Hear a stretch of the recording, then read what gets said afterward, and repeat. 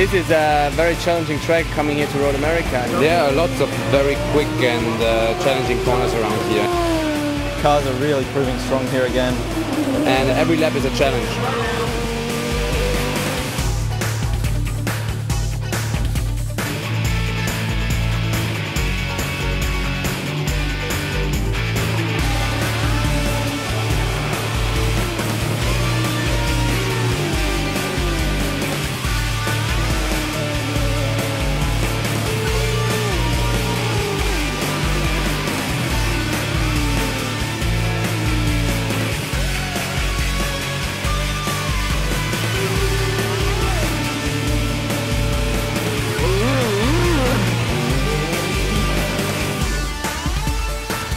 Also when it was raining, it was really dark and uh, I was afraid, but after when uh, we restart, I had a, a great fun with Audi, a big battle.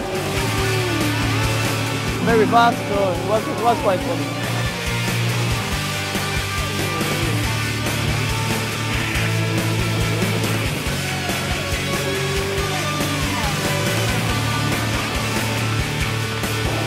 In the end, I had to push to stay in front of the Audis. The pit crew made a perfect job, and the Spider was was uh, very competitive the whole the whole day. I mean, uh, I think we deserved it.